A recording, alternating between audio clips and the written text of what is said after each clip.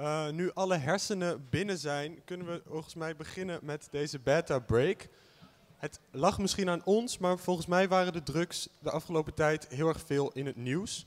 Eergisteren was het dat de D66-jongeren een ecstasy-winkel in Hartje Amsterdam begonnen om daar uh, placebo-pillen te verkopen om ecstasy-legalisering onder de aandacht te brengen. Gisteren is in de Tweede Kamer het plan voor wietteelt door de gemeente uh, afgeschoten. En het was nog maar, het was 9 mei dat de Volkskrant kwam met deze editie. Laten we het eens over drugs hebben. Nou, dat waren wij van de Beta Break toen al lang van plan. En um, ja, niet alleen over drugs, maar ook over drugs als medicijn. Een beetje specifieker. Uh, drugs, uh, allerlei drugs zouden kunnen werken. Uh, medicinale wiet zou uh, chronische pijn kunnen verlichten. Bestandsdelen van ecstasy zouden kunnen helpen bij traumaverwerking enzovoort. Um, nou goed, hoe werkt dat in de hersenen? Hoe werkt dat ook in de wet? Mag dat zomaar een verboden druk voorschrijven aan een patiënt? Daar gaan we het het komende uur uh, over hebben met onze vier gasten. Uh, hartelijk welkom. Um, laat ik met jou beginnen, Christine. Um, je werkt bij het College ter Beoordeling van Geneesmiddelen. Uh, wat is dat precies? Hoe ziet een dag er voor jou uit? Oh, als je naar mijn dag gaat vragen, dan wordt het een heel chaotisch verhaal, denk ik. Uh, maar het college van beoordeling, uh, die registreert de geneesmiddelen, die krijgt op alle gebied, dus geen enkel medische discipline uitgezonderd. En dat doen we op basis van dossiers die we krijgen van de farmaceutische industrie. Heel simpel gezegd. En daar zitten heel veel data in. Je moet je voorstellen zeg maar, dat je hier deze kleine ruimte kunt vullen met papier, met papier. En dat is dan zo'n geneesmiddeldossier. Nou, daar zit natuurlijk heel veel administratie bij, maar er zitten ook heel veel waardevolle data bij. Uh, hoe is het geneesmiddel uh, van kwaliteit? Wat hebben ze gedaan eerst uh, uh, in voorstudies, um, in, de, in, in de dieren en wat hebben ze vervolgens gedaan bij de mensen. En dat wordt allemaal beoordeeld en dat klinkt misschien uh, ja, beetje saai. Nee, dat klinkt niet saai. Dat wordt beoordeeld zeg maar, op werkzaamheid en veiligheid. En dan moet je, er, moet je eraan denken dat als je zegt werkzaamheid, ja, daar zullen we het hier misschien nog even over hebben. Wat heb je met elkaar afgesproken eigenlijk wat een geneesmiddel moet doen? En dat is verschillend voor de verschillende ziektebeelden. Verschillend voor suikerziekte en verschillend voor, uh, als we even bij, bij uh, drugs blijven, zeg maar voor de hersenen. Verschillend voor depressie uh, of verschillend voor schizofrenie. Nou, als de, als de, de balans tussen werkzaamheid en veiligheid zeg maar positief is, dan kan een geneesmiddel geregistreerd worden en dan kan het op de markt toegelaten worden. Dat betekent niet dat wij dan ook gaan over de prijzen die daaraan hangen. Dat is weer een heel ander, dat is het Zorginstituut Nederland wat daarvoor zorgt. Nou, dat even in een nutshell. Wat ik doe op die dag, of wat ik doe op een dag, ga ik je niet allemaal vertellen, maar ik ben zelf uh, hoofd van, uh, de, uh, van het programmabureau Wetenschap. En ik zorg voor alle wetenschappelijke initiatieven en activiteiten binnen onze organisatie. En dat betekent dat wij tegenwoordig, en dat is vrij uitzonderlijk voor een ambtelijke organisatie ook veel studenten over de vloer hebben. En promovendi, maar met name studenten. Dat zijn jullie als doelgroep die bij ons uh, stage kan lopen en op een of andere vorm onderzoek doen, kunnen doen naar hoe zo'n geneesmiddelregistratie tot stand komt en wat er allemaal bij kan komen kijken. Dus ik ontmoet veel van jullie als jongelui en daar wou ik het eigenlijk bij laten, want ja. ik heb een vreemde functie in onze organisatie. Dankjewel. Het is wel duidelijk dat de studenten dus uh, nou, misschien bij het CBG terecht kunnen. Um, ja, nou ja, al die, uh, die uh, drugs waar u dus uh, over oordeelt, die komen natuurlijk ergens vandaan. En um, we hebben hier ook bij ons een apotheker, Paul. Jij bent eigenaar van de apotheek die als eerste Mediwiet op de markt gaat brengen. en daar heb je natuurlijk een soort interesse voor dan. En was die interesse, had je die als student ook al? Was je toen ook al zo met drugs bezig? Dat is een beetje een, een gewetensvraag. En, uh, ja. Ik, wil me even beperken tot, uh, ook in navolging wat mijn voorgangster net zei. Met uh, alle geregistreerde geneesmiddelen komen we in, denk ik, 95 tot 98 procent van alle gevallen komen we toe om mensen daarbij te helpen. Er zijn nog steeds 2 tot 5 procent van de mensen die we met een gangbare medicatie niet goed kunnen helpen. En um, dat zijn geneesmiddelen die dan ook niet geregistreerd zijn. We proberen bij die mensen dan wel iets, iets toe te passen. Een, een, een apotheker mag dan een eigen bereiding maken in zijn apotheek. Mag gewoon op basis van de kennis en, en de ervaring die hij heeft ook ehm, het predicaat geneesmiddel toekennen aan wat hij zelf gemaakt heeft, bijvoorbeeld. En dat ook aan patiënten geven in het belang van die patiënt. Ehm, dat we dit mogen doen is opgenomen in de wet. En eh, ik denk dat we daar in onze studie ook heel veel aandacht aan hebben besteed. En dat we daar ook goed voor uh, klaargestoomd zijn om dat zo te doen. Ja. Het geneesmiddel waar we het vandaag over hebben, de medicinale cannabis, is zo eentje. Dat is niet geregistreerd, dus er zijn geen dossiers over. Nee, oké. En um, we hebben hier ook iemand, Wim van den Brink namelijk, die uh, onderzoek doet naar hoe dit soort stoffen op ons lichaam werken en dan met name hoe we eraan verslaafd raken. Um, en wij vroegen ons af, zijn verslavingen als een uh, gok of een seksverslaving uh, vergelijkbaar met een, een, verslaving aan drugs, aan zo'n substantie? ja en nee. Er zijn hele duidelijke overeenkomsten tussen drugsverslaving en, en gokverslaving, dat is het best onderzocht. Uh, in termen van wat er misgaat in het brein, in termen van welke breinsystemen betrokken zijn, maar er zijn ondertussen ook al verschillen gevonden. Hetzelfde geldt eigenlijk voor eetverslaving. Daar zijn zeker ook wel, misschien wel bepaalde vormen van eetverslaving, met name mensen die erg veel bingen. Dat lijkt ook wel op mensen die drugsverslavingsgedrag vertonen. Maar ook daar zijn toch wel weer verschillen te vinden in de manier waarop het brein reageert. En dan zijn er natuurlijk toch de nieuwe verslavingen, zoals, uh, nou ja, het, het, houdt niet meer op natuurlijk. Het, natuurlijk de gameverslaving. Er is eigenlijk nog heel weinig hersenonderzoek naar gedaan. Uh, nou ja, wat we krijgen, shoppingverslaving, uh, seksverslaving. we moeten een beetje uitkijken dat we niet alles op één hoop gooien. Ja. er zijn overeenkomsten, zeker, maar er zijn ook wel, toch, toch wel echt wel verschillen. Ja. Um, nou hebben we tenslotte ook nog heel keer vervaken bij ons vandaag. Um, en jij doet vooral onderzoek naar ecstasy. Um, dat is niet helemaal waar. Oh, waar doet u nog meer onderzoek naar? Uh, ik doe geen onderzoek. Ik ben docent neurobiologie hier aan uh, het Amsterdam University College en okay. aan de VU. Maar ja. ik heb wel onderzoek gedaan. Okay. Ik was promovendus bij het Netherlands Ecstasy Toxicity Study. Dat is een onderzoek naar de schadelijkheid van ecstasy voor het brein. dat onderzoek is opgezet door Wim en collega's. Daar heb ik aan meegewerkt ben ik op gepromoveerd. Maar ondertussen doe ik zelf geen onderzoek meer en uh, uh, geef ik les, doseer ik dus aan, uh, aan de beide universiteiten in Amsterdam. Ja. Maar je weet dus wel redelijk veel van ecstasy. Ja, en um, zoals je misschien vernomen hebt, is er maandag door de jongeren van D66 een initiatief geweest. Die hebben een ecstasy winkel geopend. Um, wat, wat vind jij daarvan? Nou, ik, ik, vind het, ik vind het moeilijk om, uh, om, om... Want ik ben neurobioloog, dus ik denk na van wat doet het in de hersenen. Om me echt over beleidsvraagstukken uh, te, gaan, uh, te gaan nadenken. Want ecstasy heeft wel degelijk risico's. Heeft wel degelijk risico's op acuut. Als je te veel van neemt, kan je van dood gaan. Maar dat geldt voor veel medicijnen natuurlijk. Dat geldt voor water. Dat geldt voor water. Maar ecstasy heeft ook risico's op de langere termijn, voor het geheugen bijvoorbeeld. En het is een hele andere afweging als je ecstasy inzet als medicijn. Als je dan misschien wat geheugenstoornissen hebt, als dat opweegt tegen het verlichten van de klachten van posttraumatische stressstoornis, dan, als je het gebruikt als genotsmiddel, dan wordt, dat, wordt die balans anders. Dus ik kan daar niet zomaar ja of nee op zeggen. Nee, oké. Um, we gaan het vandaag... Ik denk wel dat we serieus moeten gaan denken hoor, aan het legaliseren of reguleren van ecstasy. Maar misschien kun je het daar okay, nog over ja, daar gaan we het straks zeker over hebben. Um, we willen het vandaag ook eerst even hebben over hoe drugs nou eigenlijk werken op ons, wat het doet met ons lichaam. Daarna willen we het uh, erover hebben hoe dat dan als medicijn toegepast kan worden en of dat ook gevaarlijk kan zijn. En tenslotte willen we het dus inderdaad even hebben over het beleid, het drugsbeleid in Nederland. Um, en dan ook um, op medicinaal gebied. dan komen we toch even terug bij Wim. Nog even één dingetje. Als iemand in het publiek hier zit en die denkt, nou, ik vind iets onduidelijk, ik heb een vraag. Ga dan even naar Sanne toe, want Sanne zit daar en die kan dan... Uh, nou, kun je eigenlijk gewoon zelf je vraag stellen aan de microfoon. Uh, ja, grijp je kans, zou ik zeggen. Wim, wij uh, willen eerst even vaststellen wat drugs nou eigenlijk zijn en wanneer, hoe definieer je zoiets. Moet dat bijvoorbeeld um, op de hersenen werken? zit er een verslavingsrisico aan? Is dat definitiegebonden? Ja, ja, wat zijn drugs? Nou, in ieder geval, dus in Nederland kennen we het onderscheid tussen drugs en medicijnen. In, in het Amerikaanse spraakgebruik zijn het allemaal drugs. Dus het is, wij, wij, denken dat we dat onderscheid kunnen maken. In het algemeen denken we dat drugs zijn, dat zijn psychoactieve stoffen. Betekent dat er iets in je brein moet gebeuren, want dat is wat mensen eigenlijk willen bereiken. Dat er een veranderde toestand komt.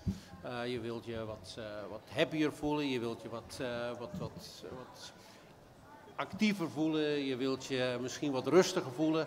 Eigenlijk allemaal pogingen om je brein met middelen te beïnvloeden, zodat je een bepaalde toestand kunt bereiken. Nou, om dat te kunnen bereiken moet je natuurlijk stoffen nemen die op de een of andere manier in de hersenen terechtkomen. De hersenen worden een beetje beschermd, dat niet alles daar zomaar in komt, dus een, een bloed-hersenbarrière is er. Dus uh, ja, je moet eigenlijk middelen hebben die de bloed-hersenbarrière kunnen passeren. Uh, en wat moeten ze dan doen? Dan moeten ze eigenlijk toch een uh, onmiddellijk positief effect hebben op je, op je beleven. Dat wil zeggen, of je moet je er gelukkig van voelen, of je nare gevoelens moeten ervan weggaan. Eén van tweeën. Het ene noemen we positive reinforcement in de psychologie, het andere noemen negative reinforcement. Het creëren van iets positiefs of het wegnemen van een, een onprettig gevoel. Nou, dat zijn eigenlijk de twee manieren waarop dat gebeurt. Er moet eigenlijk nog een tweede ding gebeuren. Dat gebeurt niet bij iedereen, daar komen we straks nog wel over te praten, denk ik. Er moet ook een, voordat een, een, druk ook echt een druk en een verslavende druk wordt, moet er ook een, bij een aantal mensen een gevoel ontstaan van dat ze het opnieuw willen gebruiken en telkens weer opnieuw. Er moet iets van hunkering of craving ontstaan. En dan weten we ondertussen redelijk goed hoe dat ontstaat. Uh, dat zijn eigenlijk die eisen. En als je nou bijvoorbeeld even denkt aan antidepressiva. Iedereen, uh, je hoort heel vaak van, dat zijn hele verslavende drugs. Nou, dat is onwaarschijnlijk, want antidepressiva hebben pas een subjectief effect, pakweg na twee tot zes weken. Dat zijn dus eigenlijk geen middelen die bovenaan de lijst staan om aan verslaafd te raken. Het gaat wel de bloed-hersenbarrière passeren. Het geeft wel waarschijnlijk een vermindering van het slechte gevoel, maar het doet dat heel traag en heel slow. Nou, een derde eis is denk ik voor een verslavende druk of van een druk met een psychoactieve stof. Dan moet er eigenlijk wel iets gebeuren met of het dopaminesysteem of met het opioïdesysteem. Eén van twee. Vroeger dachten we in ieder geval het opioïdesysteem, uh, het dopaminesysteem, daar komen we een beetje van terug. Maar er moet wel iets gebeuren met het dopaminesysteem of het opioïdesysteem. Anders zal het waarschijnlijk geen verslavend ja. effect hebben. Ja. Klopt dat een beetje, Hilke? Um, ik wil dus net inderdaad naar Hilke overstappen, want ik denk dat velen van jullie misschien wel eens de dinsdagdip hebben meegemaakt. En misschien weten jullie ook wel dat dat te maken heeft met het serotoninegehalte. Um, Hilke, zou jij ons daar wat meer over kunnen vertellen? Ja, um, voordat ik jullie iets meer kan vertellen over hoe de dinsdagdip ontstaat. En voor degenen die niet weten wat dat is. Dat de meeste mensen nemen ecstasy in het weekend op zaterdagavond. En waar de kater bij alcohol gelijk de volgende dag duidelijk is, wordt de kater bij ecstasy pas enkele dagen later zichtbaar of voelbaar. En dat is typisch op een dinsdag. Daarom noemen we dat de dinsdagdip. Maar goed, voor ik dat kan uitleggen, moeten jullie een beetje meer inzicht krijgen in hoe uh, het brein werkt en in hoe ecstasy op het brein werkt. Dus we hebben hier een breintje en als ik dat uit elkaar haal, wat je dan ziet lijkt gewoon één vaste massa, maar eigenlijk bestaat dat uit miljarden hersencellen. En die hersencellen die zijn zo klein dat je ze eigenlijk niet kan zien. Ze vormen samen de hersenen. Nou, als je gaat kijken naar die hersencellen, die gaan met elkaar praten, communiceren.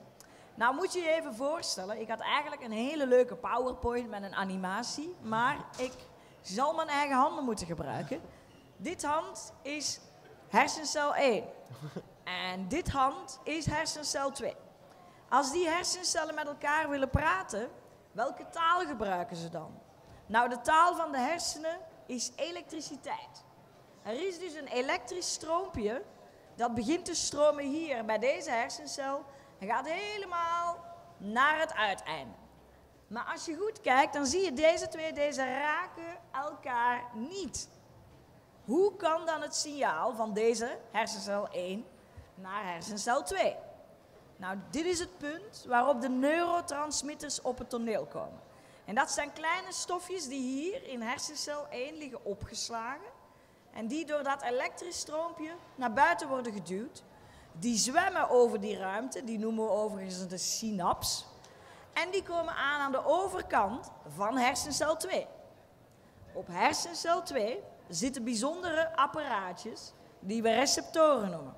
Nou, die neurotransmitter die past daarin, echt als een sleutel in een slot. Die zal die receptor aanzetten en bam, er ontstaat hier een nieuw elektrisch stroompje. Dus het signaal wordt doorgegeven.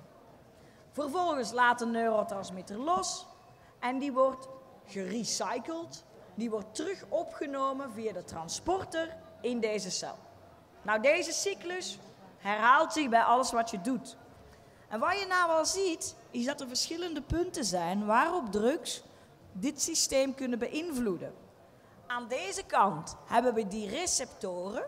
Nou, daar zouden wel eens drugs kunnen zijn die zo erg lijken op neurotransmitters dat ze ook kunnen gaan binden aan die receptoren en dat daar beïnvloeden.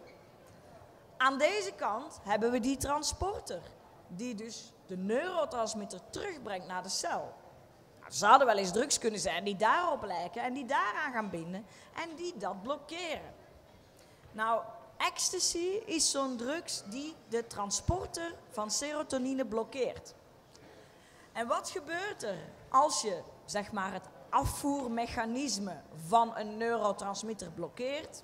Dan loopt die hele synaps vol met serotonine. Dus je krijgt een explosie van serotonine. Die serotonine bindt vervolgens aan al deze receptoren en dat geeft het verliefde gevoel. En wat er dan gebeurt bij die ecstasy dip, heel veel mensen denken dat dat komt omdat je je eigen serotoninevoorraad hier in neuron 1 gaat uitputten. Maar eigenlijk denken we dat dat niet zo is. Want op die dinsdag is dat eigenlijk al best goed aangevuld. Wat er waarschijnlijk gebeurt, het is een theorie, we zijn er nog niet zeker van, is dat je lichaam in een reactie op die overvloed van serotonine zegt: hé, hey, hier klopt iets niet.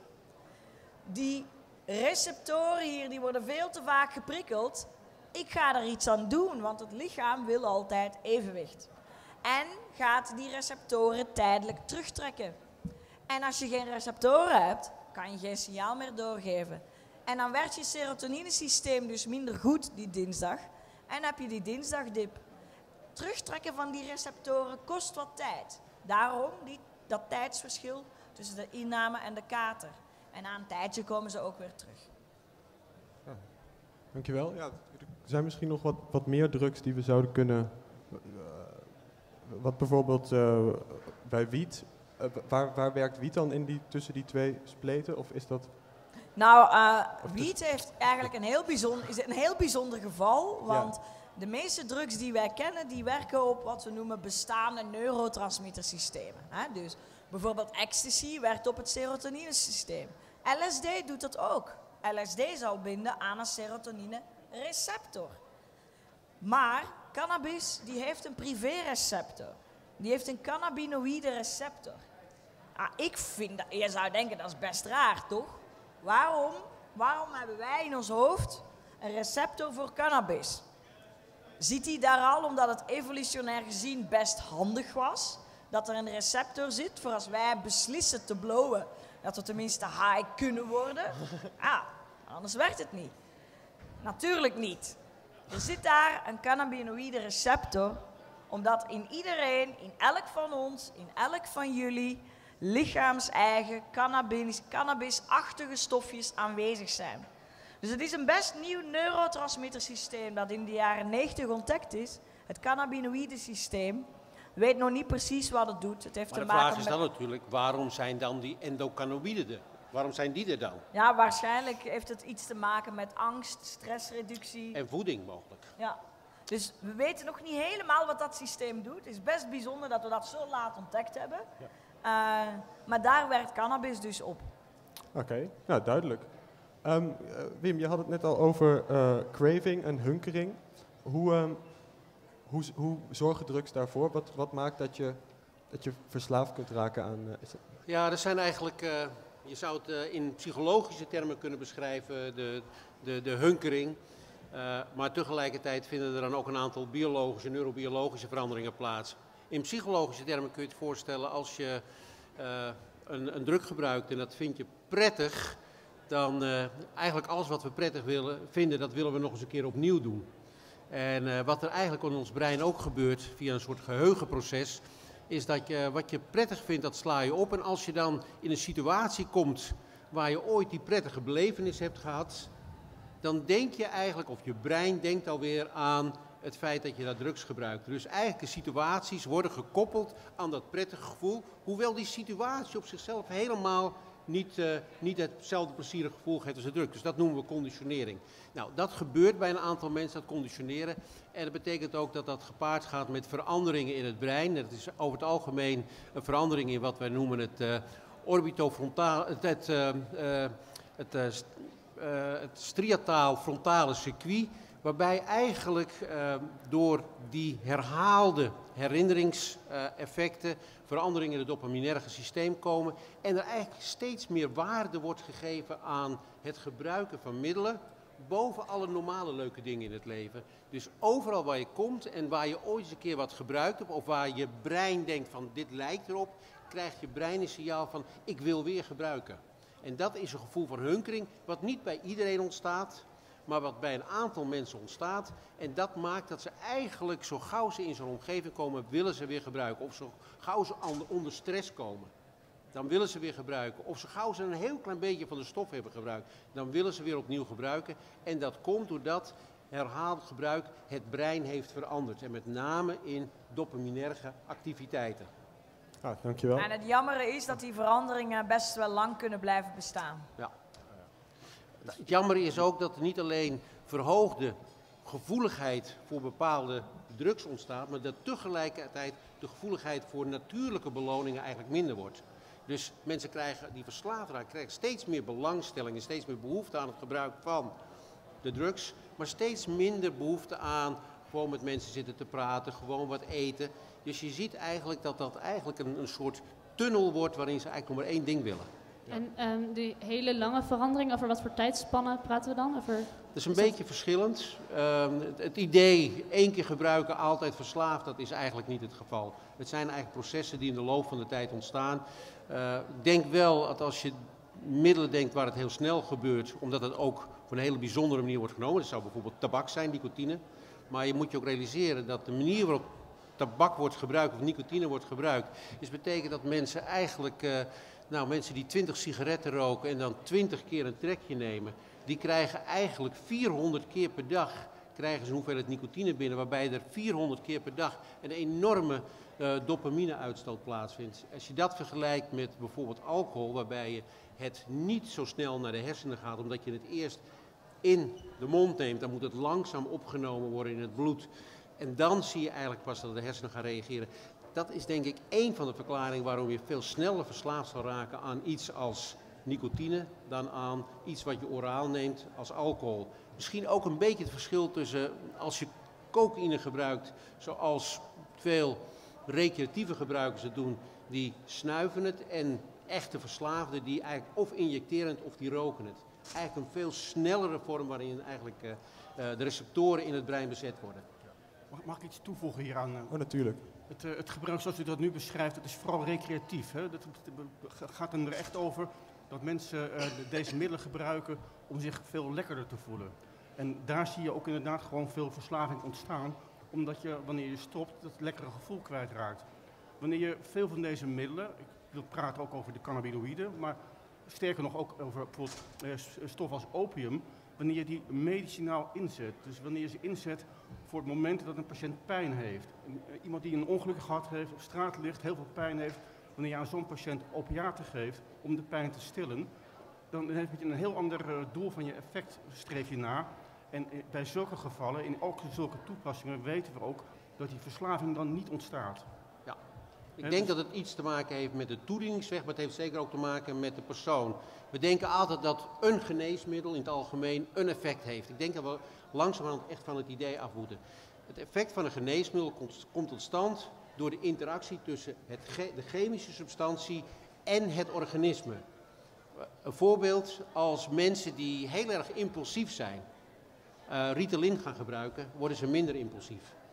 Als mensen die niet impulsief zijn, Ritalin gaan gebruiken, worden ze juist impulsiever. Kortom, een medicijn of een chemische substantie heeft niet op zichzelf een effect. Het heeft een effect in interactie met het organisme.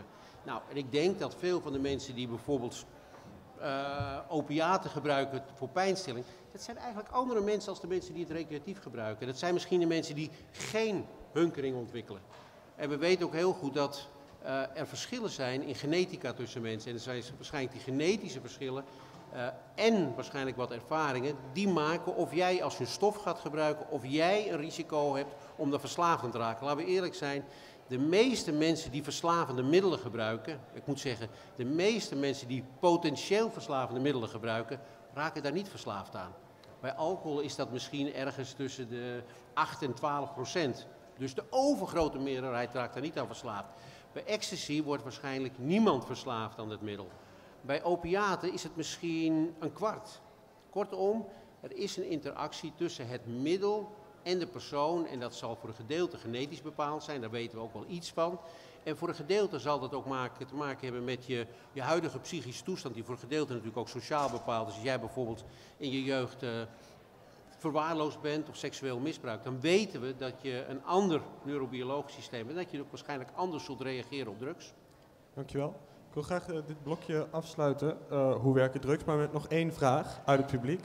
ga je gang, ja. als je het doet ik had een vraagje over die Ritalin. Hoe kan het dan bijvoorbeeld met uitleg van de hersenen dat dat zo'n uh, compleet tegenstrijdige reactie geeft voor verschillende mensen? Ja, omdat we kennelijk niet geboren zijn met dezelfde hersenen. Je denkt dat wij, jij dezelfde, nou, dat weet je wel, dat jouw hersenen niet hetzelfde zijn als, de, als die van, nou noem maar iemand. Je weet dat we daar grote verschillen in hebben. En uh, heel veel uh, studies die gedaan zijn, die gaan eigenlijk uit van een soort lineaire relatie tussen een, het middel, uh, gebruiken van een middel en het effect wat je ziet. We komen er steeds meer achter dat die relaties niet lineair zijn, maar curvilineair, eigenlijk omgekeerde inverse U-shaped curves. Dat als je in het midden zit, dan functioneer je lekker. Als je te weinig hebt, dan word je bijvoorbeeld impulsief. Als je te veel hebt, word je juist een beetje slomig. En als jij als persoon aan die slomige kant zit en je gaat dan Ritalin nemen, ja, dan ga je richting dat optimale deel van die curve en dan word jij misschien een beetje uh, actiever. Terwijl als je al helemaal aan het eind zit, kun jij helemaal niet actiever worden, kan het alleen maar de andere kant op gaan. Dus die hele lineaire relaties van dosis-respons moeten we echt vanaf. Nog een er duikt nog een tweede vraag op. Ja, deze, deze is een beetje als reactie daarop. Um, misschien vooral voor Christine.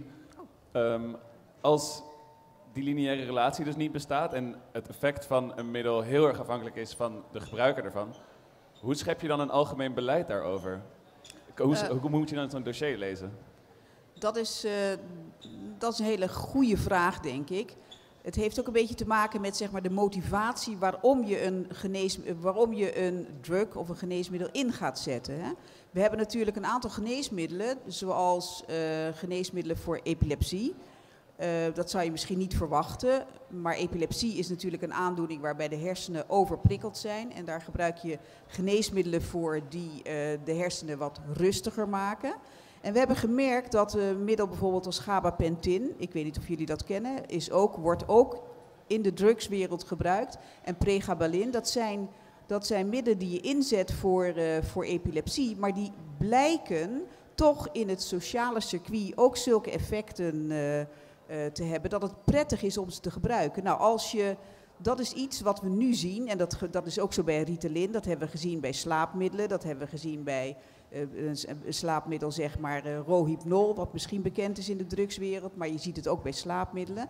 En als je een geneesmiddel uh, moet re registreren, waarvan je weet dat een geneesmiddel dit soort eigenschappen gaat hebben, dan, zit, dan is dat eigenlijk nu iets, uh, dan, dan, weet je, dan ga je er wel vanuit dat je iets weet over die afhankelijkheid maar je registreert het om een aandoening uh, zeg maar beter te maken. En dat is je eerste target. En daarvan kun je, en dan, dan ken je een aantal eigenschappen. En dan kun je waarschuwen in de informatievoorziening dat een, dat een slaapmiddel, zeg maar, bijvoorbeeld niet te lang gebruikt moet worden. Um, maar je kunt niet altijd voorkomen hoe een middel zich gaat gedragen in de maatschappij. Nou, we hebben de laatste jaren nu gezien dat dat voor middelen waarvan je dat eigenlijk niet verwacht, dat die zich toch zo gaan gedragen op de markt. En we zijn nu bezig om te kijken of we ook aan de farmaceutische industrie kunnen vragen om studies te doen bij gezonde vrijwilligers. En dat is ook iets wat denk ik uh, nog, nog uitgebreider ter sprake komt. Of je bij de registratie van een geneesmiddel al een indicatie kan hebben of of het zeg maar een, een, een potentieel, of, of het een geneesmiddel is wat zich ook zo op de markt kan gaan verspreiden. Als je zegt beleidsmatig, het is niet onze verantwoordelijkheid voor de registratie van een geneesmiddel met een goed doel om ook de, het, zeg maar het maatschappelijk gebruik te kunnen reguleren. Maar het is wel iets waar we ons indirect verantwoordelijk voor voelen. Dus wat je probeert te doen in de registratie is bij nieuwe middelen waarvan je nu uit ervaring weet van ze lijken op uh, de ecstasy, uh, ze lijken op uh, um, antiepileptica, zeg maar, die, die een dempende werking hebben, die ook een, een rustgevende werking hebben, gaan proberen we wel steeds meer te weten te komen door studies te vragen bij gezonde vrijwilligers of ze het herkennen, bijvoorbeeld als iets wat plezierig is, om die informatie ook boven tafel te krijgen, zodat je in elk geval geïnformeerd bent. En dat is waar onze verantwoordelijkheid ligt. Maar misschien toch nog even terugkomen op je curve. Het risico ontstaat als we dit soort trials doen in een biologisch heterogene groep, dat de ene groep juist de ene manier reageert en de andere groep de andere manier, en dat je gemiddeld gewoon niks vindt in een studie.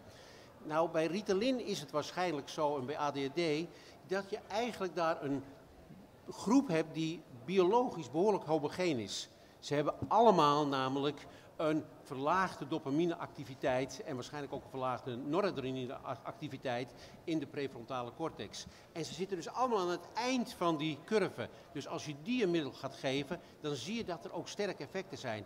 Maar we weten bijvoorbeeld bij depressie, daar zijn waarschijnlijk zoveel subgroepen. En je ziet bepaalde medicijnen die een heel klein effectje hebben. Nou, komt dat nou omdat dat medicijn zo weinig effect heeft? Of komt het eigenlijk dat we een gemiddelde zien in die studies in groepen van een groep die een negatief effect heeft, een groep die een positief en een groep die bijna al op zijn optimum zien en geen effect heeft.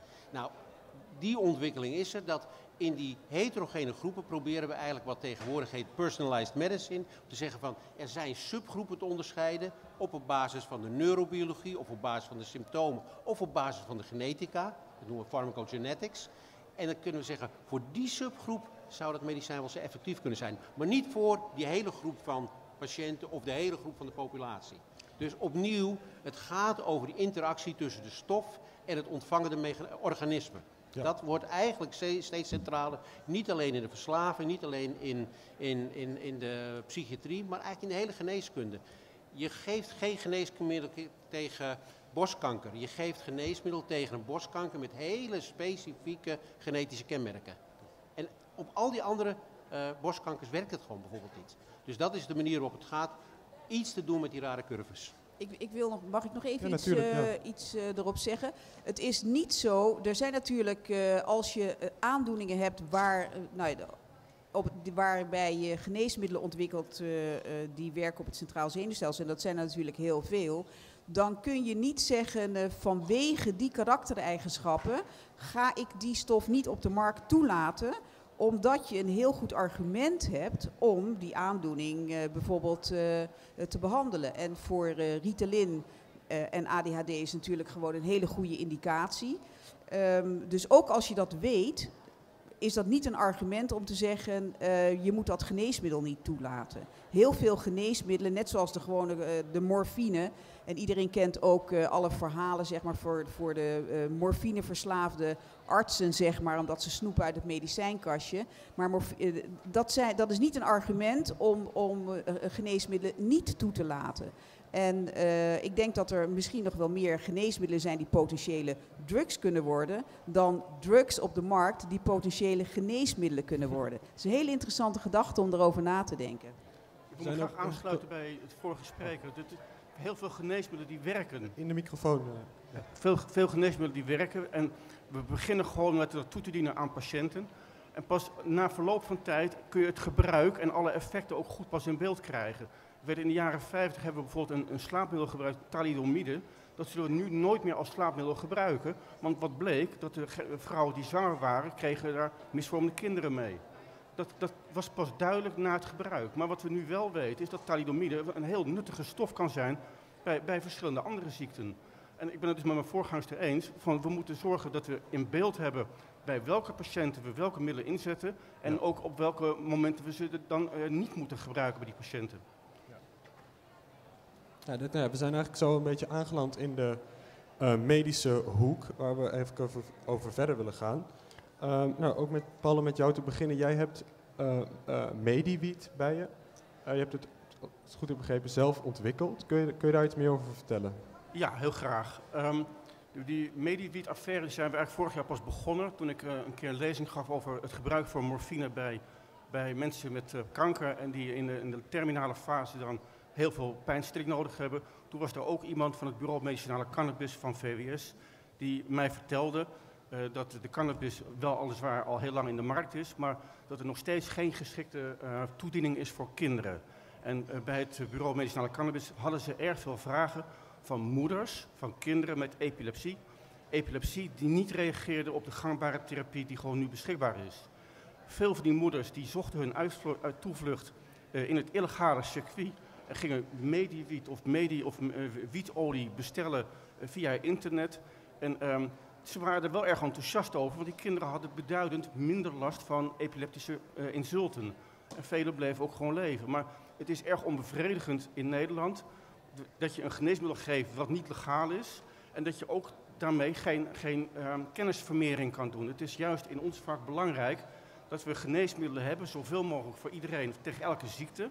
En dat we ook weten wanneer we ze kunnen inzetten.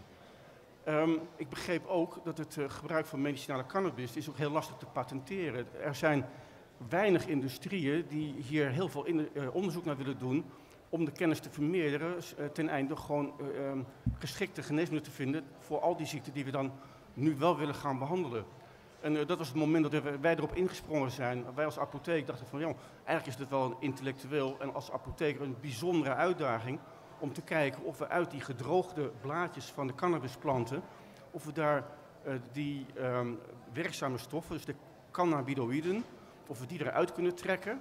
En dan moet je weten, er zijn uh, meer dan 60 verschillende cannabinoïden in, uh, in, in, de, in, in de blaadjes te vinden.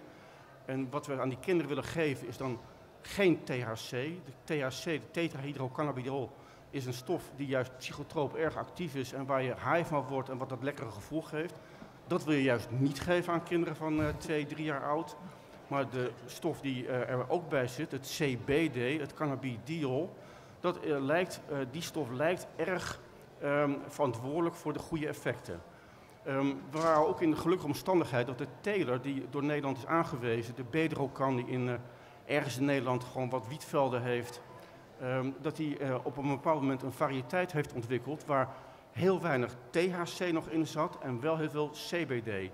En het is die variëteit die wij hebben gebruikt en waar wij nou ja, met onze apothekerskennis uh, inderdaad gewoon via alcoholextracties en le leuke dingen voor een apotheker, waar we uiteindelijk gewoon die werkzame stoffen uitgehaald hebben. En nou, sinds een week of twee hebben we nu een product wat stabiel gemaakt wordt, wat we ook in de loop van de tijd kunnen garanderen dat daar juist die stoffen in zitten die we willen hebben om die patiënten te genezen, om, om die patiënten te helpen. Zodat we ook nu heel gericht wat uh, kunnen gaan doen aan um, de ervaringen. De ervaringen van gebruikers zijn van wezenlijk belang. En um, nou, dat, het, is, het is een enorme leuke uitdaging. Oh, ja, ja. Wordt het vergoed? Ja, dat, uh, dat gaat mijn de buurvrouw ging ook al niet over de prijzen. De, de, prijs die wij hanteren, die uh, komt uh, overeen met uh, de alle inkoopprijzen die wij hebben en de, en de productiekosten. Um, en het wordt niet vergoed vanuit de basisverzekering. Dat is jammer. Maar dat verschilt wel per ziektekostenverzekering. Las ja. ik in ieder geval op de ja. site van de Bureau Medicinale Cannabis. Er zijn wel ziektekostenverzekeringen die het gewoon wel vergoeden, hè? Er zijn verzekeraars die het willen vergoeden vanuit de aanvullende verzekering. En dan nog uh, krijg je dat toch niet zomaar. Verzekeraars, dat zijn uh, de banken van deze wereld die met veel geld te maken hebben. Uh, daar moeten we het hier maar niet over hebben, maar die kijken erg naar de kleine centjes, ja. En nog even kort, waar, waartegen helpt dan de medicinale cannabis allemaal? Epilepsie bij kinderen, maar zijn er nog meer doelgroepen die hier profijt van kunnen hebben? Ja, veel. De, de claim is dat het bij ongelooflijk veel verschillende aandoeningen werkt. Uh, persoonlijk uh, hebben wij een jaar of vijf geleden een, een, een, dame van 80 jaar geholpen die last had van verhoogde oogboldruk. Dat is in die zin prettig dat je die oogboldruk kun je meten. En na toedienen van de thee, we maakten iedere dag voor haar een kopje thee met die THC erin, konden we zien dat de oogbaldruk naar beneden ging van 32 uh, naar beneden naar 18, waardoor deze dame weer kon zien. Dat is een, een, een fantastisch mooi resultaat als je zo duidelijk ziet de toediening, de dosering en het effect. Maar bij veel andere dingen is het wat lastiger. Bij epilepsie praat je over vermindering van het aantal uh, insulten. Um, dus op een gegeven moment, als je dus zo'n dame bij je krijgt met een verhoogde oogboldruk, en dan heb je al wel andere dingen uitgeprobeerd, neem ik aan. En dan op een gegeven moment kom je dus eigenlijk bij je THC uit als laatste redmiddel. Werkt dat zo een beetje? Ja, ik denk dat je het heel juist verwoordt. Eigenlijk netjes gewoon we beginnen met de gangbare medicatie. Dat is onderzocht, dat het, heeft, het CBG heeft dat beoordeeld. Daar zijn dossiers van. Die moet je echt eerst proberen. Maar wanneer het dan niet uitkomt, denk dan aan het gebruik van wiet. Ja. ja. Goed, er zijn natuurlijk nog meer uh, drugs met een werking als medicijn. Dus bijvoorbeeld ecstasy. Wim, je hebt onderzoek gedaan naar de, de tox, toxi, krijg je niet Neurotoxiciteit. Neurotoxiciteit. Moet je oefenen, ja. Ja, nou, ja, het is goed om altijd te weten, hè, dat, ik dacht dat Hilke het net al zei, je moet altijd kijken naar, uh, als je het over uh, recreatief gebruik hebt, dan zou je eigenlijk een middel willen gebruiken, als je wil gebruiken, ik mag natuurlijk niks stimuleren, maar als je wil gebruiken wil je eigenlijk een middel hebben dat, uh, dat het gewenste effect geeft, via je brein op je gevoel en op je beleven. En als dat voorbij is, dat je brein weer helemaal hetzelfde is als daarvoor. Dat is wat je wil daar zijn misschien wel stoffen die dat bijna halen, maar de meeste eigenlijk niet. Dus er is altijd een zeker risico. De vraag is hoe groot dat risico is. Uh, David Nutt heeft eens een keer het risico van ecstasy-gebruik vergeleken met, uh, met paardrijden door, uh, door kinderen. En die heeft dan vastgesteld dat als je dat netjes uitzoekt, want kinderen die paardrijden vallen wel eens van dat paard af.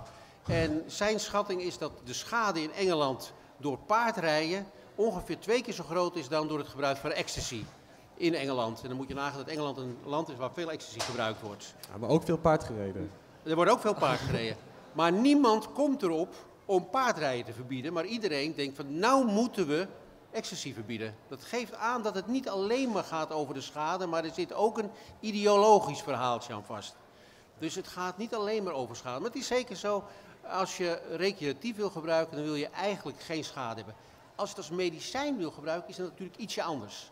Dan heb je een bijvoorbeeld ernstige, niet op normale behandeling reagerende aandoening. En dan wil je er een medicijn tegen gebruiken. En het is misschien minder ernstig als je een klein beetje bijwerking hebt. Omdat je het grotere doel, het wegnemen van die ernstige symptomen, dat je die weg kan krijgen. Bijvoorbeeld, je zou kunnen denken, het is niet helemaal uitgesloten dat van cannabis dat er toch iets aan je brein verandert. We denken dat dat niet heel ernstig zal zijn. Maar als je daarmee kunt bestrijden dat mensen met multiple sclerose ernstige, pijnlijke spasmen de hele dag hebben, misschien weegt dat dan toch wel tegen elkaar op. Nou, dat is ook een beetje met ecstasy gebeurd. Ecstasy heeft mogelijk wel een klein risico op afwijkingen in het brein. De vraag is nog niet helemaal opgelost of dat blijvende of tijdelijke afwijkingen zijn. Maar er zijn misschien wel grotere doelen. Bijvoorbeeld iemand die met ernstige posttraumatische stressstoornisklachten zit slecht slaapt, uh, impulsief is, agressief is, een, een, ongelukkig leven leidt, alles al geprobeerd heeft, cognitieve gedragstherapie, uh, antidepressiva, nog steeds geen verbetering, is van nou, misschien met ecstasy zou je iets kunnen doen. Wat ecstasy daar precies bij doet, weten we niet. Misschien wel de extra uitstoot van oxytocine die ermee plaatsgaat. Dan kun je wel afvragen, misschien moeten we niet ecstasy gaan voorschrijven, misschien moeten we wel oxytocine gaan voorschrijven. Nou, dat zijn ontwikkelingen die er zijn. Oxytocine is weer een beetje lastig, want dat kun je eigenlijk niet met een pilletje nemen. Dat moet je eigenlijk al verdampen via de neus. Dus het is een beetje lastige stof. Maar ja, in zo'n situatie kan je ecstasy bijvoorbeeld gebruiken voor uh, posttraumatische stressstoornissen. En zo zijn er heel veel dingen. LSD is voorgesteld, om het, het is eigenlijk al onderzocht bij uh, bijvoorbeeld bij alcoholafhankelijkheid. LSD in lage doseringen. Het zijn allemaal niet in doseringen dat mensen knetter uh, psychotisch worden. In lage doseringen is het voorgesteld bij cluster headaches, ernstige hoofdpijnen die niet goed behandeld kunnen worden, waar mensen zich om suicideren. Zo ernstig zijn die hoofdpijnen, chronische hoofdpijnen. En als je dan de gewone middelen hebt gebruikt, het werkt niet, dan lijkt LSD daar zeker een, eh, een mogelijkheid. Uh, allerlei pijnsyndromen worden natuurlijk ook wel genoemd, zowel bij, bij paddenstoelen als bij, bij LSD. Uh, eh, ketamine is nu eigenlijk heel positief. Nou, misschien moet jij er iets meer over zeggen. Maar dat is echt op de rand van dat we daar depressie mee gaan behandelen. Uh, dus dat, dat zijn allemaal van dat soort ontwikkelingen. De vraag is hoe die stoffen straks op de markt gaan komen. Want er zijn geen bedrijven die die dossiers, waar jij over vertelde, die deze ruimte kunnen vullen, die die dossiers en die pakweg voor een middel zal het iets van 800 miljoen euro kosten, die dat gaan ontwikkelen en een mooi dossier aanleveren aan, uh, aan Christine. Dus dat is wel een probleem. En daar wil ik nog iets aan toevoegen. LSD wordt uh, tegenwoordig ook ingezet als hulp bij psychotherapie. Bij mensen die ongeneeslijk ziek zijn en angstklachten hebben. En daar ga je dan in tegenstelling tot de behandeling van clusterhoofdpijn uh, en uh, obsessief-compulsieve stoornis, ga je net wel hogere doseringen geven, dat mensen wel die psychoactieve ervaring hebben. En met behulp van een psycholoog uh, zou dat ertoe kunnen leiden dat hun angst voor hun naderend levenseinde dat die afneemt. Verder uh, kijken ze met psilocybine hoe de doorbloeding van het brein gaat. En het lijkt erop dat als je psilocybine, dus de werkzame stof van paddo's, als je die toedient aan mensen, dat dan de hersendoorbloeding verandert op een manier um, waarop hij ook verandert als mensen geen depressie hebben. Dus misschien zou je psilocybine kunnen inzetten bij depressie. En ik denk eigenlijk dat een van de meest interessante dingen is ketamine. En ketamine is wat we noemen een dissociatief uh, tripmiddel. Het werkt op een hele andere manier dan LSD. En ketamine is al een geneesmiddel, dus dat is interessant. Het is al een bestaand geneesmiddel. Het staat niet in de opiumwet. En men heeft eigenlijk per toeval ontdekt, een, uh, bijna een twintigtal jaar geleden, dat het antidepressief werkt. En waar Wim net zei, die SSRI's die werken heel langzaam, werkt ketamine gelijk. En duurt de werkingsduur, de antidepressieve werkingsduur, duurt twee weken. Dus dat werkt op een hele andere manier. En heeft eigenlijk dat hele depressieveld op zijn kop gezet. Omdat iedereen dacht, het heeft allemaal te maken met serotonine. En opeens komt daar een middel dat inwerkt via het glutamaatsysteem. En uh, omdat het al een middel is wat bestaat, zijn er dus mensen, ik heb daarover gehoord in Amerika, die dus via een omweg ketamine, wat eigenlijk niet bedoeld is voor depressie, maar als verdovingsmiddel, toch geven aan ontzettend hoge prijzen aan mensen die helemaal uh, wanhopig zijn, omdat de bestaande behandelingen bij hen niet aanslaan. Ja, ik heb nog even één korte vraag om dat blokje mee af te sluiten. Dat is namelijk, hoe kom je nou eigenlijk als onderzoeker aan ecstasy en hoe doe je dat onderzoek? Mag je werken bijvoorbeeld met proefpersonen? Hoe, hoe is daar de, de praktijk in? Ja, als als je denkt aan, ecstasy of je denkt aan, aan opiaten. Uh, wij moeten dat allemaal, als het om een studie gaat, dan is dat heel complex. Uh, hoe we dan aan de medicijnen komen is bijna altijd via de farmaceutische industrie. En als het niet via de farmaceutische industrie dan moet dat via een apotheek met hele specifieke uh, licenties gebeuren. Uh, dan, wij, wij zullen ook altijd naast het middel een placebo gebruiken. Het placebo moet ook door diezelfde uh, gecertificeerde apotheken gemaakt worden. We hebben een recente studie gedaan met 25 proefpersonen en betaalden we alleen voor de placebo betaalden we eigenlijk al 50.000 euro. Omdat die gemaakt moesten worden volgens diezelfde procedure, dezelfde lookalikes.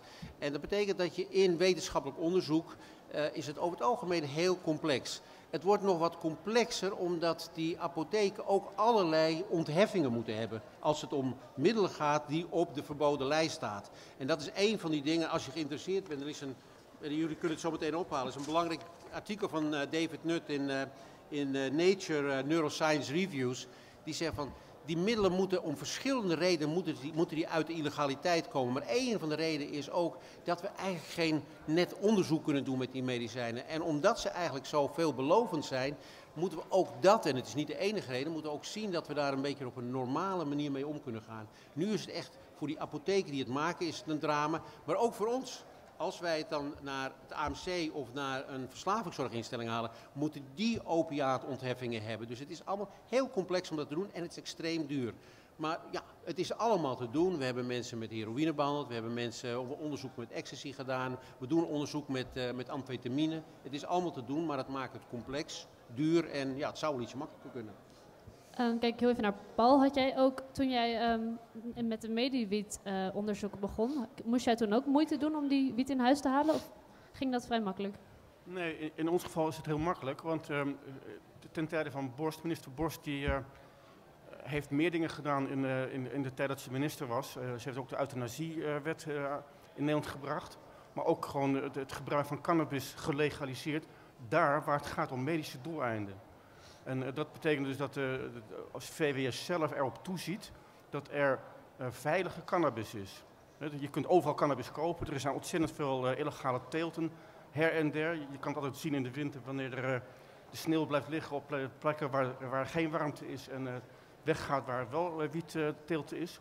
Maar er is één, één bedrijf, de Bedrocan, die heeft gewoon in Nederland een, een, gecontroleerde teelt. En die controleren ook dat de inhoudstoffen die zij in die stoffen, in die planten ontwikkelen, dat die continu voldoen aan, aan goede kwaliteitseisen. Dus zowel de hoeveelheid als ook dat er geen pesticiden in zitten, er zitten geen aflatoxines in, er zitten geen andere stoffen in, zware metalen, die allemaal giftig kunnen zijn bij de mens. Ja. Um, jij noemde in het begin ook al um, dat er op medicinale wiet geen patent kan worden aangevraagd. Um, ik kijk even naar Christine. Hoe zit dat? wat is het verschil met die geregistreerde medicijnen en die niet geregistreerde medicijnen? Waarom, waarom kan wiet bijvoorbeeld niet zo makkelijk geregistreerd worden? Uh, nou, ik wil even misschien een verwarring weghalen. Er is, wel, er is cannabis uh, uh, geregistreerd in okay. de vorm van, dat, dat middel heet Sativex. En dat is geregistreerd voor, het gebruik, voor multiple sclerose om de spasticiteit te verminderen. Een ander voorbeeld ook even, wat ik even wil noemen, is GH, GHB, wat jullie ook allemaal kennen uh, uit het circuit. Wat geregistreerd is voor narcolepsie, zogenaamde slaapziekte. Dat je plotseling in slaap valt en je spieren allemaal verslappen. Um, dus het kan op de markt komen, het kan geregistreerd worden. Ik denk dat alle middelen die hier gepasseerd zijn, wel geregistreerd kunnen worden. Omdat, je, omdat we al gezegd hebben, zeg maar, een drug kan een medicijn worden. Maar een medicijn kan ook een, uh, een, een drug worden in het, uh, in het uh, in het illegale circuit, zal ik maar zeggen. Dus daar zit niet zoveel verschil tussen. Maar wat je wel moet doen, en daar heeft Wim ook al een beetje aan gerefereerd, je moet wel zorgen dat voor een registratie moet je altijd iets aantonen. Zo simpel is het natuurlijk. Dus als je zegt um, de, de medicinale wiet is goed voor, uh, voor epilepsie en het vermindert de, het aantal aanvallen, dan zul je dat moeten aantonen. En dat Um, uh, als het heel veelbelovend is, of als je bijvoorbeeld een hele goede patiëntenpopulatie zou kunnen vinden, dan is het ook voor de farmaceutische industrie zeker aantrekkelijk om dat te doen. Uh, want dan krijgen ze dat waarschijnlijk ook uh, vergoed. Maar dan moet je dat wel vergelijken met middelen die er zijn. En dan moet je wel aantonen dat het een voordeel heeft. Een voordeel heeft voor een speciale groep, of een voordeel heeft in de bijwerkingen, of een voordeel heeft omdat het beter werkt dan andere middelen. En dat, soort, dat type vergelijkende onderzoeken, die kun je uitvoeren. En um, als, het zo als het zo is dat, uh, dat, dat uh, de maatschappij zich steeds meer bewust gaat worden, er steeds meer lobby komt en die, die komt er ook om bepaalde geneesmiddelen die nu nog, nu nog als party drugs gekwalificeerd worden te registreren, dan, uh, dan, dan zullen daar ook partijen voor gezocht worden die, dat, die zo'n dossier gaan vullen. Dat dossier kan heel groot zijn, dat dossier kan minder groot zijn, maar er, om iets te registreren moet je wel iets kunnen aantonen. En, daar en als je dat niet aandurft omdat je denkt, nou ik ben niet zo zeker van of dat wel positief uitvalt, dan houdt het op natuurlijk. Is het dan als ik het goed begreep, het verschil tussen uh, iets dat door de farmaceutische industrie wordt aangeleverd en iets dat al als drugs bekend is, dat, die, uh, dat, een, drug niet dat een niet gelegaliseerd kan worden? Of um, gepatenteerd kan worden? Zit daar een verschil tussen? Dat, ja, dan moet je weer bij het octrooienbureau zijn. Ja. Dat... Uh, uh, dat weet, nou, dus dat ligt weet nog een ik beetje niet. over wat voor soort drukjes het hebben. Als, als het om hele complexe stoffen gaat, eigenlijk cannabis is een hele complexe mengeling van psychotrope stoffen. Het komt direct uit een natuurproduct. En dat betekent eigenlijk dat je het eerste wat je moet denken zeggen van over welke stoffen in dat natuurproduct gaat het nou eigenlijk? We hebben het net eigenlijk een beetje over THC en CBD, cannabidiol gehad, maar er zitten nog tientallen, honderden andere stoffen in als je iets synthetisch maakt, dan weet je in ieder geval wat er in je pilletje zit. De eerste stap bij drugs die komen uit planten betekent dat je een product moet hebben wat een zekere stabiliteit is, waar je van weet wat erin zit. Dat is vaak al een hele lastige stap om te maken. En dan zie je ook dat er ook wel industrieën zijn die willen eerst stap maken van natuurproduct naar bijvoorbeeld een synthetisch product. Ibogaïne is zoiets, dat haal je uit een plant, maar er is wel een soort stof ontwikkeld, noribogaïne. En dat maakt de stap ietsje makkelijker, want het, C, eh, het CBG vindt het lastig om met producten te werken waarvan ze niet weten of als je het volgende keer weer gebruikt, dat het een andere samenstelling heeft. Dus er zijn wel, op een aantal plekken zijn er wel lastige stappen te maken hoor. In aanvulling hierop, de THC is wel degelijk ook gewoon chemisch eh, te synthetiseren. En dan heb je gewoon één stofje uit dat enorme palet wat er in die planten allemaal voorkomt.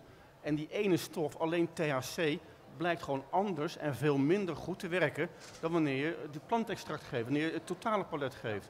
Dus er zitten de combinatie van al die stoffen die erin zitten, eh, die potentieert kennelijk gewoon ehm, het effect van THC zelf. Maar dat bewijst eigenlijk hoe belangrijk het is dat je dat toch standaardiseert. Want je wil de rest er dus ook kennelijk in hebben. Ik, ik, ik, weet niet of het patent alleen het belangrijkste is. Want er zijn tegenwoordig, doordat je ook met andere geneesmiddelen die ehm, voor andere doeleinden gebruikt worden, of die, in de, die, die op de plank zeg maar zijn blijven liggen en niet verder ontwikkeld zijn. Er zijn steeds meer initiatieven om, daar, om die toch op de markt te krijgen en geregistreerd te krijgen.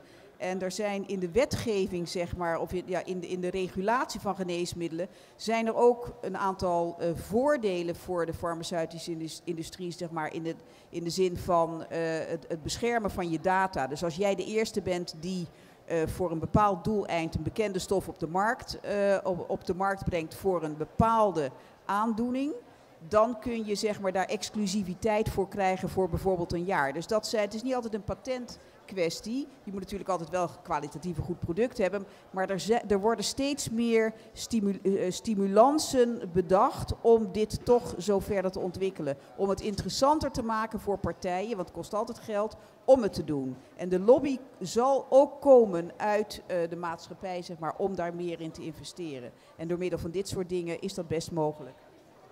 We gaan gewoon een laatste vraag eigenlijk. Het, merken denk ik dat het Nederlandse drugsbeleid ten opzichte van de jaren 90 weer strenger wordt. Heeft dat ook gevolgen voor het onderzoek dat jullie doen naar uh, drugs? Of eigenlijk een vraag voor, uh, voor ieder van jullie.